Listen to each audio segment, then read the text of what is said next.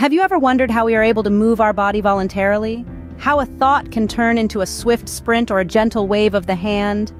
It's a fascinating process that involves a special type of muscle in our bodies, the striated or skeletal muscle.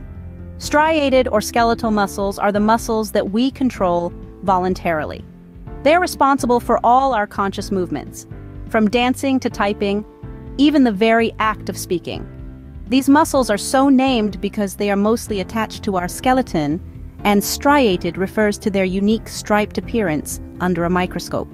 Now, imagine a muscle as a city. The city is made up of numerous buildings, which we can liken to muscle fibers. These muscle fibers, or buildings, are long, cylindrical, and unbranched. They form the basic units of our muscles. Each fiber is like an individual muscle in itself, capable of contraction and relaxation. But these muscle fibers are not alone. They are grouped together in bundles, much like buildings in a city are grouped into blocks. These bundles are surrounded by a connective tissue sheath, creating a structure akin to a bundle of sticks tied together.